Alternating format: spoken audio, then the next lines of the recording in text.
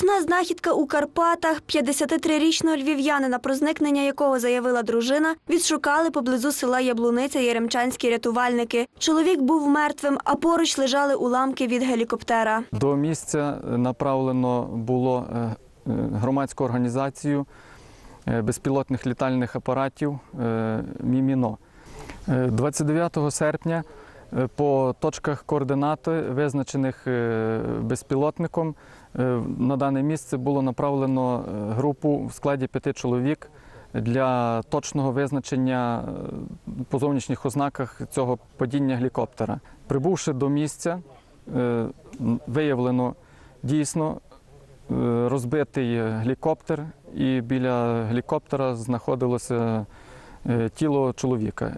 Як не парадоксально, але за словами рідних, загиблий направлявся до Чернівців на курси керування гелікоптером на гелікоптері. Хоча за професією чоловік військовий льотчик права польотів на такому виді транспорту у нього не було. Дивно і те, як досвідчений воєнний опинився на Прикарпатті. Наразі запитань більше ніж відповідей. Проте оперативники підозрюють, чоловік порушив закон. Він е, направився у Чернівецьку область для того, щоб здійснювати навчання на керування гелікоптером. Яким чином він опинився в Івано-Франківській області, буде встановлено. За попередньою інформацією, дозволу на політ не було отримано, тобто можна припускати, що це був нелегальний політ. Незрозуміло і те, чому до сусідньої області чоловік взяв із собою закордонний паспорт. Його та шість упаковок із цигарками без акцизної марки слідчі знайшли на місці аварії. Наразі тривають слідчі дії. Лілія Звончук, Андрій Гаргара, телеканал 402.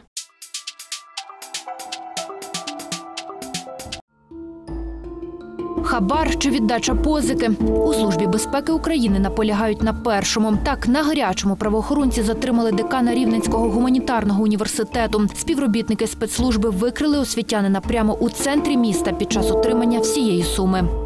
Правоохоронці встановили, що посадовець, який також є головою відбіркової комісії, вимагав від батьків двох абітурієнтів 1400 доларів США. У таку суму зловмисник оцінив сприяння у влаштуванні дітей на денну форму навчання.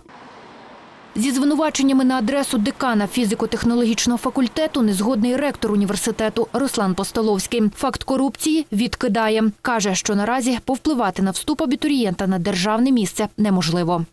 Отут його звинувачують, що він хотів влаштувати двох студентів на державну форму на навчання на психологію і взяти за це 2700 доларів. Подивіться, 2700 доларів. Так я вам хочу сказати, тут не клеїться, розумієте? На державну форму навчання влаштувати неможливо. Ми посилаємо е, документи, всі, які до нас подали міністерство. Міністерство встановлює прохідний бал, присилає нам список студентів. Ми до цього взагалі не маємо відношення. Це центр якості освіти робить. Окрім іншого, пояснює, що декан Дмитро Сингаївський цьогоріч і справді був головою відбіркової комісії, втім на зарахування до магістратури. Тому прямого відношення до вступників на перший курс не мав. Ці студенти, я дивився, вони поступили на плати на психологію, бо на державну не було. Так там теж конкурсу не було. Там ще 30 заком місць можна поступити, розумієте? За, за що береться хабар? Я не розумію. Він до мене приходив, говорив, я питав, він каже, що йому там як хтось був винний, віддавав і в цей час таке зробилось. Для того, аби почути думку підозрюваного, вирушаємо до іншого корпусу університету. Майже безлюдні коридори та зачинені двері кабінетів. Втім, Дмитра Сенгаївського таки застали на звичному місці. Викладач пояснює на роботі, тому що від займаної посади поки не відсторонений. Це не було ніякого хабаря, не було ніякого, просто, просто людські стосунки, хороші люд- людські стосунки призвели до того, що виявилася така ситуація. Більше я нічого не можу сказати, вибачте. Чоловік розповідає, все вилучене у нього під час обшуку правоохоронці обіцяють повернути. Вранці суд обрав для декана міру запобіжного заходу у вигляді домашнього арешту з 23 години до 7 ранку. Наразі слідчі дії тривають. У декана хабарника не вірять ні його колеги-викладачі, ні керівництво вишу. Не на камеру припускають, що чоловіка могли просто підставити. Чи то на посаду позарилися, яку Дмитро Васильович займає вже 15-й рік, чи то просто перед новим навчальним роком вирішили зіпсувати репутацію. Чи розглядає таку версію слідство, нам наразі невідомо. До селища Гончарівське у четвер завітали боги війни. Тут проходять змагання артилерійських батарей. Найкращі розрахунки з військових частин оперативного командування Північ змагаються у спритності та влучності. Для кожної гармати чи РСЗВ є свій норматив.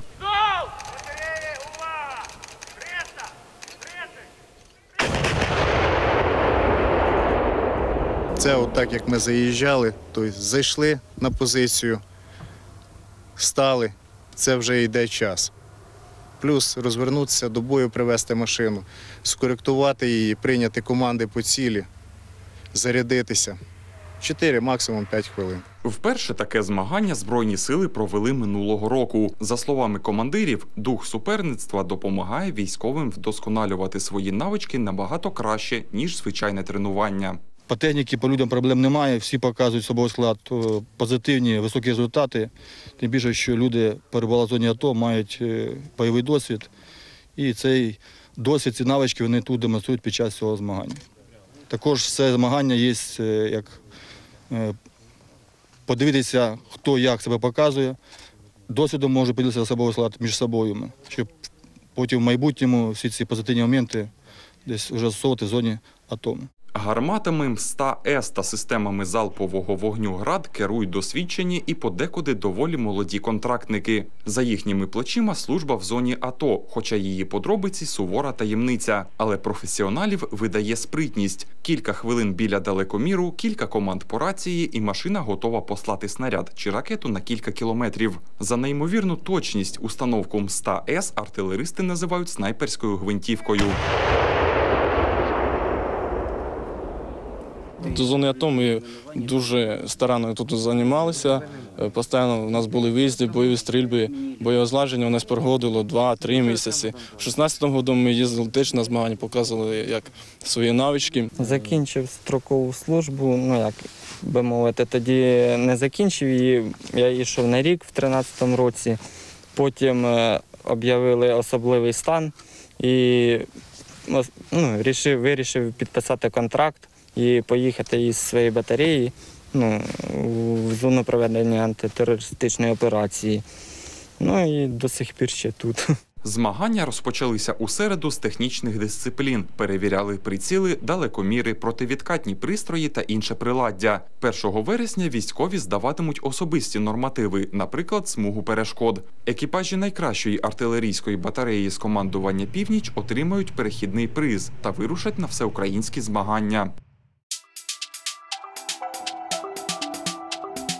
Екологічний десант висадився біля річки Бокай у Слов'янську. 29 серпня на місці батьківської садиби поета лірика Михайла Петренка прибирали місцеві волонтери. П'ять років тому тут було встановлено пам'ятний знак. У 2012 році ми, краєзнавці, при допомозі міської влади урочисто відкрили оцей пам'ятний знак, який засвідчує, що на цьому місці стояла садиба батьків Михайла Петренка. А мабуть, недаремно тут з'явилися рядки його Слов'янськ, Слов'янськ, як гарно ти по річці по рівнині, розкинув пишні садки, квіти пахучі по долині, і так красуєшся собі. Ось на лоні цієї природи на березі річки Бакай, от в цьому регіоні, в цьому районі, пройшло дитинство Михайла Петренка.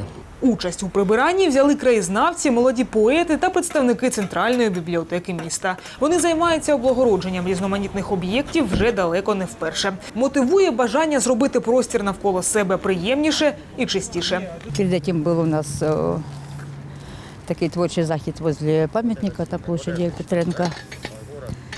И вот такой экодесант всех сюда желающих. Инвентарь, пожалуйста, в руки и вперед. Бібліотекарі зазначають, дуже часто молоде покоління не знає, що Петренко автор відомих поетичних рядків Дивлюся на небо, тому ведуть активну просвітницьку роботу. Дивлюся на небо та й думку гадаю, мало хто знає про те, що це вірші Михайла Петренко. Дітки до нас на екскурсію приходять, ми робимо опитування, то я питаю, хто написав. Багато хто каже, що або це народна пісня, або це Шевченко. І от ми ведемо таку роботу. Тобто ми, бібліотекарі, вміємо працювати і руками, і словом. Нагадуємо, в цьому році відзначають 200-ту річницю із дня народження Михайла Петренка. Події передує низка заходів. В цей раз сприяли в організації суботника почесний громадянин Слов'янська Віктор Антоненко та міжнародна організація з міграції. –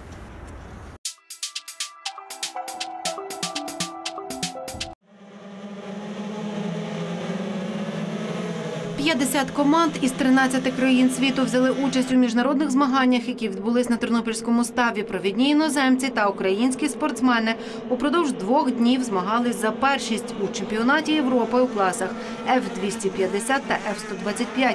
За Кубок Європи від міського голови Тернополя у класі С-550 та в етапі чемпіонату світу в класі Формула 500. Організатори змагань відзначили гідну підготовку міста та гостинність тернополян. Ми маємо 13 країн, це представники всіх найсильніших водномоторних країн світу, починаючи від Великобританії, Німеччини, Австрії, Угорщини, прибалтійських всіх республік, Литви, Латвії та Естонії, наші колеги з Польщі, з Білорусі. Е, Україна представлена шістьма командами. Я маю надію, що е, такий представницький великий пул спортсменів, які сюди приїхали, нам дозволить отримати дозвіл на проведення ще найближчих три роки цього чемпіонату е, гідропланів в місті Тернополі. Beautiful. We like the place here. It's another nice jetty, beautiful course, very nice. And the city is very beautiful, Ukraine. The food, the people, it's very, very, very like it, friendly, friendly people. And really, this place is my most like, most better place for the race here. And really, I don't have a bad word. It's everything perfect here. And in the race, we see what happened, but uh, it's great what happened here. Then I like it a lot. I hope every year is coming back here for the race. Рівно 30 років тому, у 1987 році, в Україні вперше відбулись змагання такого рівня. Відродили традицію проведення чемпіонатів з водномоторного спорту після тривалої перерви. Ювілейний чемпіонат з водномоторного спорту, який у Тернополі пройшов уже вп'яте, традиційно зібрав найсильніших гонщиків світу. Тернопіль сьогодні знов стає водномоторною столицею світу. І дуже символічно, тому що перший раз такі змагання були в Тернополі в далекому 1987 році. В цьому році нас 30 років, відколи Тернопіль це почав робити. Приємно, тому що сьогодні на наших змаганнях присутня найбільша кількість учасників. Такої кількості не було ще ніколи в всіх попередніх змаганнях. Тернополяни завжди вміли гарно приймати гостей. І це оцінили Міжнародна федерація водномоторного союзу, водномоторного спорту, яка визнає змагання в Тернополі одними з найкращими. І саме тому до нас хочуть їхати спортсмени, саме тому ми отримаємо шанс проводити ці змагання. Я дякую вам, тернополяни, за вашу толерантність, за вашу підтримку цих змагань, за вашу підтримку всіх учасників. Це оцінюють всі. Також на набережній Тернопільського ставу 26 серпня відкрили пам'ятний знак чемпіону Європи з водномоторного спорту Масімо Росі, який у 2016 році виборов перше місце у Тернополі у класі F-250.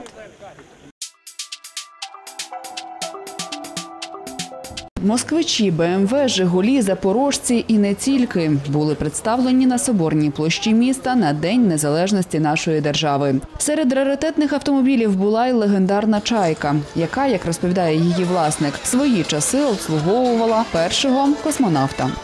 Автомобіль е, 1962 року. Е, Цей автомобіль первоначально обслуговував, не був власністю е, Юрія Гагаріна, а був е, при ЦК. І він обслуговував на всіх дипломатичних і офіційних зустрічах е, Юрія Гагаріна. Я його купив через аукціон.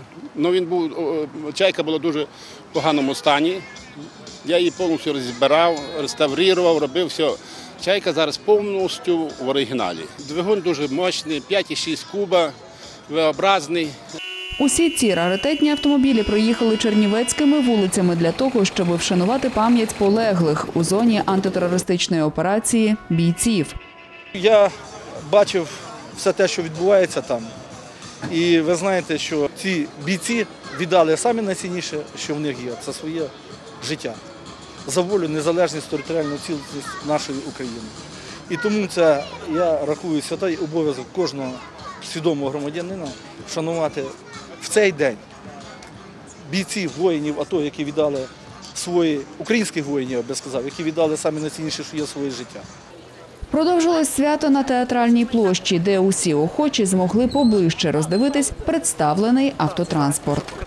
На день міста ми плануємо залучити ще більше, запросити е, ретро власників е, з міста Львова, з Івано-Франківська. Там непогано зараз в Хмельницькій області збирається така група е, старих е, раритетних автомобілів. Тому ми плануємо це десь на день міста більш грандіозно.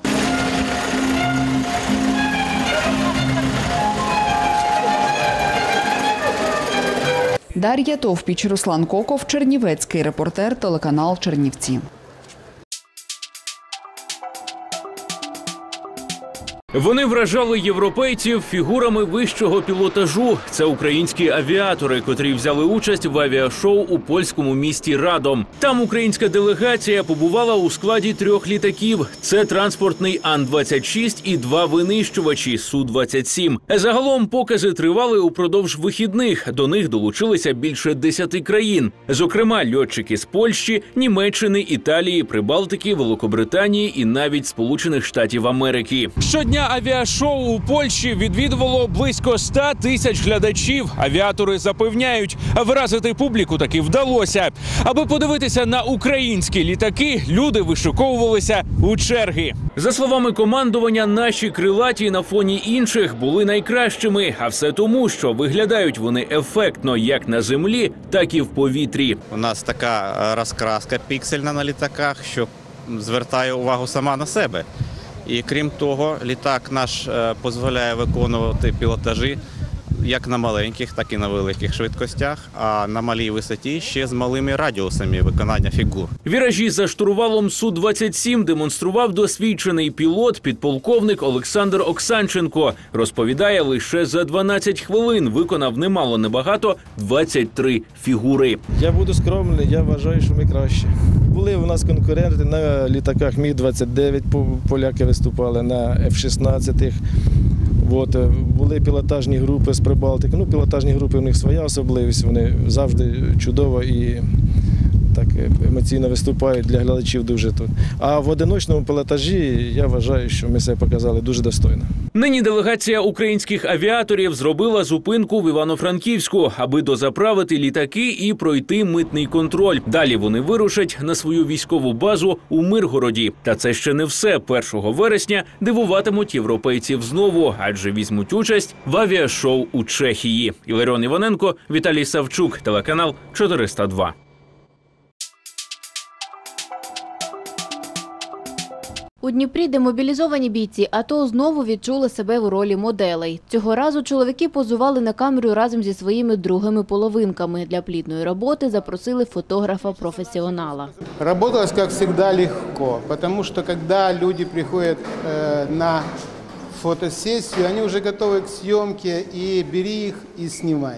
Бійці АТО вже фотографувалися з ветеранами, зі своїми дітлахами та батьками. Організатори проєкту розповідають, що теперішня серія світлин під назвою Кохання нічим не гірша за попередні. Для меня эта фотосъемка, она прошла на одном дыхании.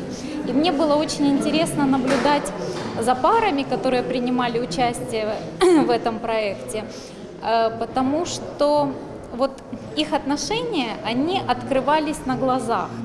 Игорю не надо было э, в какой-то момент уже говорить, что им делать, как им становиться. То есть ребята настолько искренне, у них была вот эта трансформация их чувств, что э, ну вот было море любви. У фотосесії приймали участь п'ять пар. У кожної з них є своя історія кохання, яку вони пережили на знімках. Есть пары, которые вместе много лет.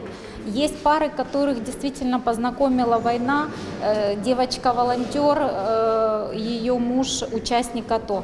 Есть э, пара, которая познакомилась, вот для меня тоже было очень интересно. Он лежал в госпитале, а она работала на объекте, который находился на территории госпиталя. То есть, ну, как говорят, что случайности не случайны. Подивитися на фотографії усі охочі можуть в будівлі облдержадміністрації протягом місяця. Об'єктив 27 канал.